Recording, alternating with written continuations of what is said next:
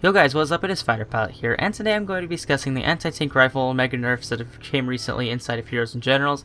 Basically what happened is with the rework of all the vehicle stuff, um, all anti-tank has had a huge hit, but specifically anti-tank guns have seemed to be almost useless now. I'm going to get into that. So in the past, we only had one gun. It was a PTRD and it was specifically for Russia. There was other factions that had one, and it kind of gave a reason to play Russia because it had unique weapons like the PTRD. This is a weapon a lot of people really wanted, mainly because it was a troll gun, but it also offered quite a few advantages, such as being able to one-shot jeeps with the right loadout and badge selection.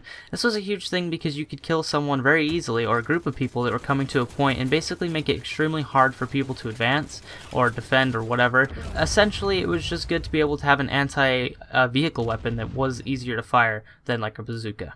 There are also a lot of people that knew how to lead and shoot down planes with it, and I always thought that was pretty cool because I couldn't do it. But uh, there's a lot of people that could, and that's been removed a while ago, but still. That was something a lot of people liked. And tanks, the thing it was designed for, weren't a problem, really. If you had a light tank, 5 shots from about any range would kill it regardless. If you used the badge for killing tanks, it made it a lot faster. Overall, it was just a decent gun. It was something that you could support your team with, kill tanks with, kind of a multi-purpose anti-vehicle weapon. It was extremely cheap compared to something like the bazooka to use, and it fired a lot faster, so it was more forgiving, I'd say, and easier to use than something like a bazooka. As I mentioned, it was something people strived for. It was unique, it had a new place, and kind of a different support role than a lot of the other guns in the game. And if you'd like to see how this performed in the past, there'll be a card on the top right right now that'll show you how it was before these recent changes hit. It was honestly a good gun.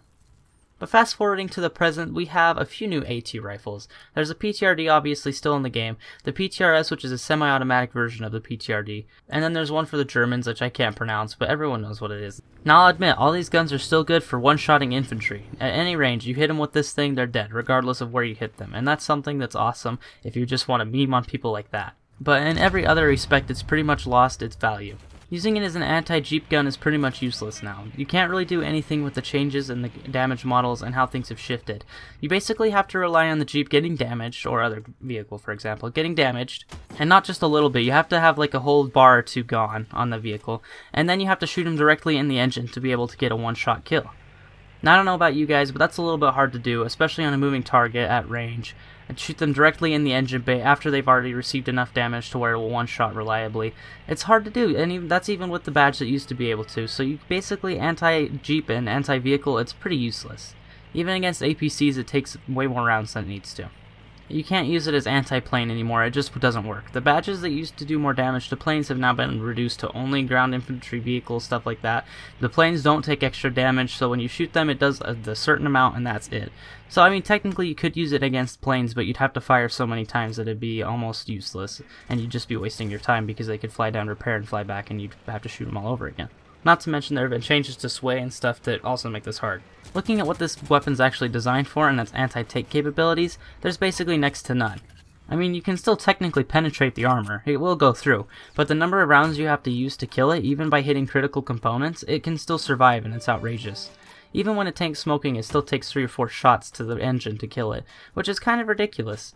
It makes it very impossible to get kills, and considering the fact that you can't shoot tankers out of tanks, even if you can hit the critical components inside like the engine, you should be able to hit the driver gunner and stuff like that, but you just can't.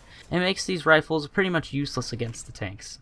And that goes for all of the guns, really, all these anti-tank rifles. There's not one that has a little bit better, and there's not one that has a little bit worse. It just seems like they've been pushed into the ground, as well as a lot of the other AT weapons. They're pretty much unusable, especially for the repair cost. I'm planning on doing a separate video dedicated to just the changes of vehicles. If you're interested, comment down below. I know a lot of people have already heard about it, but it's something that I would like to discuss and have a separate guide to. One more thing is I'm planning to start the series that I've planned for a long time and quit and then came back, the loadout selection series where you guys say, hey, I want you to take this gun with these mods and this loadout and use it. And I'll do that and see how good or bad it is and record basically what happens and what I feel like. If you're interested in that as well, comment down below and I will read the comments on things that you guys think I should do. Anyways, that's going to be it for this video. Thank you all so much for watching. As always, comment, rate, subscribe, and I will see you in the next video. Peace.